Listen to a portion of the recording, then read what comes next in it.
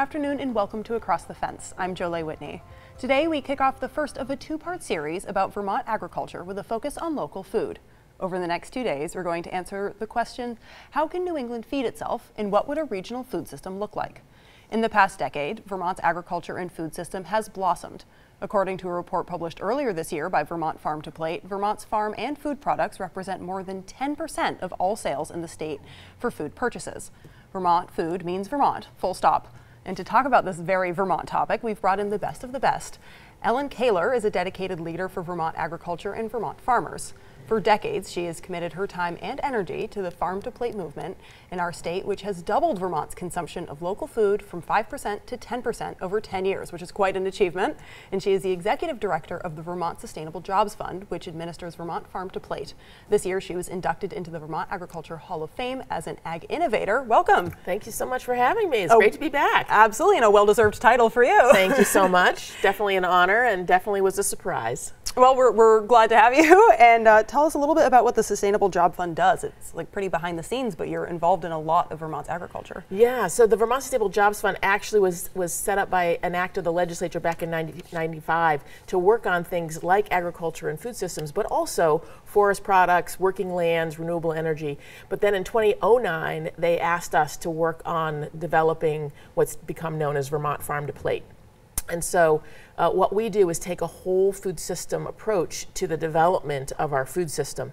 And uh, as many of your listeners know, the, uh, uh the food system is not just production agriculture, right? It involves seeds and fertilizer and soil and, and all of the things that go into creating the ground to be able to produce uh, products. It is agri agricultural production, and we have a very diverse array of, of products.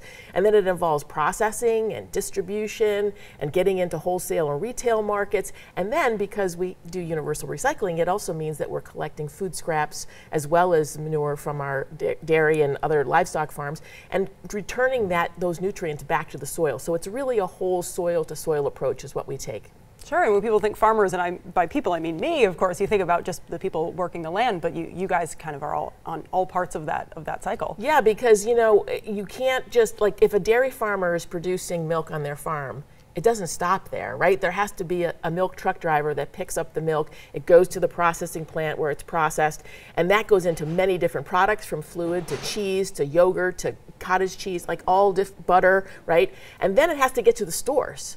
And then we have to, or it gets to restaurants, or it gets to the hospital, or to our in our schools, and then we get to consume it in some way, shape, or form. So it takes a lot of people, and in fact, there's over 61,000 Vermonters that are employed in the food system, which is about 10% of our private sector employment. So well over 11,000 businesses in Vermont, either farms or food businesses that are, have something to do with the food system. So it's a big, big, big part of our economy, a big part of our rural economy, and it's important to, that we that we strengthen it, and that's part of what Vermont Farm to Plate is all about.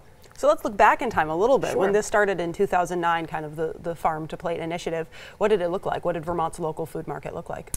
Well, it was still in the early stages. I mean, we've always had some level of farmers markets, right? I mean, uh, former Secretary Roger Allbee, I remember him saying when he talked to his his his uh, elderly mom, and he would say, "I'm working on local food development," and she's like, "Well, we've always done that. Like, what's new about that, mm-hmm. right? We've always hunted, we've always fished, we've always had backyard gardens, we've always had farmers markets on some level.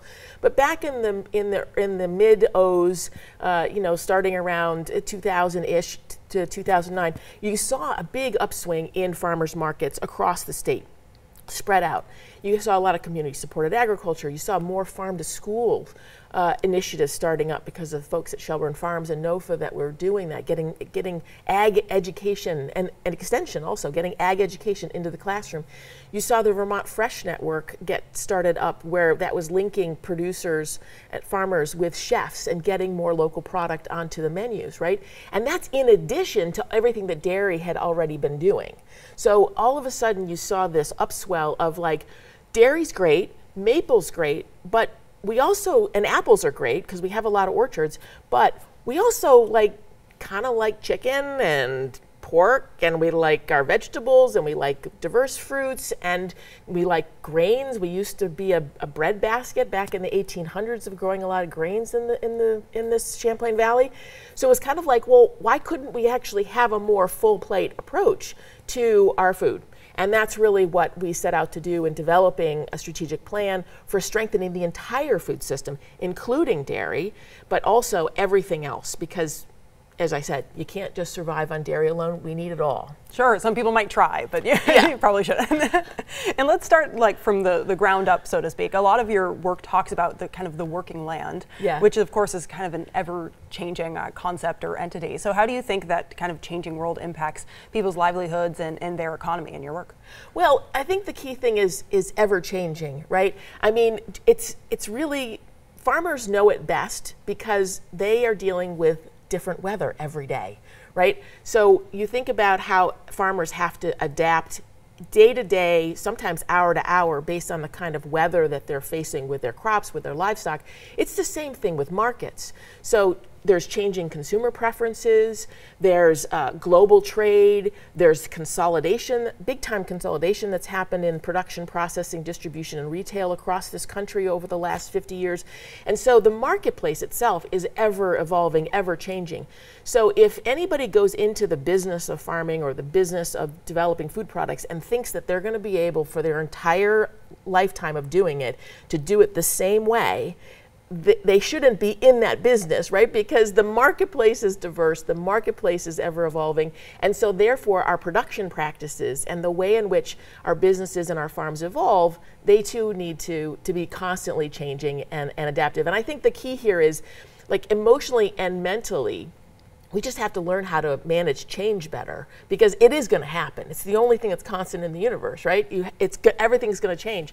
So how do we adapt to that emotionally and mentally so that we can we can go with it and we can get um, and take advantage of the opportunities because in a changing marketplace, there's always consumer preferences that are looking for that new item or that um, different item, something that's unique that has a story behind it, and that's what Vermont's particularly good at do, developing. And kind of building off of that and the ever-changing la landscape, a lot of a lot of farm work has moved a little bit more towards maybe either ag innovation or vegetables. But Vermont has such a rich dairy farming history. So how does a state kind of hold on to that while also innovating? Yeah, well, dairy is the anchor. Like we cannot lose our dairy industry in this state, even though it has reduced the number of farms, the number of acres being farmed and the number of animals being milked has been relatively constant, even as we've lost the actual number of farms. So I think that's really critical to understand. It's also really critical because it is it is animal agriculture that keeps the, the working landscape looking like it does. Like with the open fields and forests and mountains, the open fields part is because of dairy.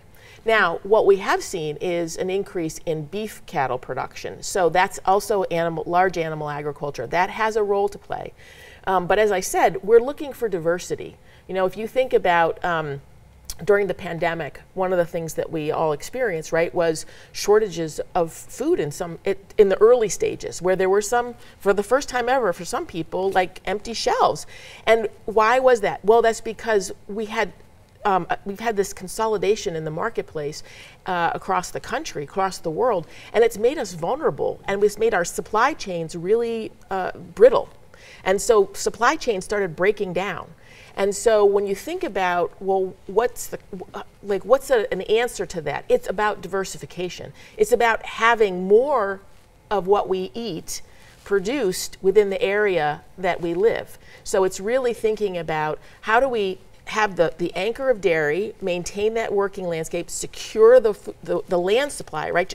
Farmland is a finite resource. We need successful farms to be able to maintain that land base so that we can feed ourselves. Because with climate change, with uh, potential for future pandemics, we need to think about how do we actually secure more of our own food supply, producing it here in Vermont, but also the region, so that we can feed ourselves more of what we actually eat, we're actually producing here.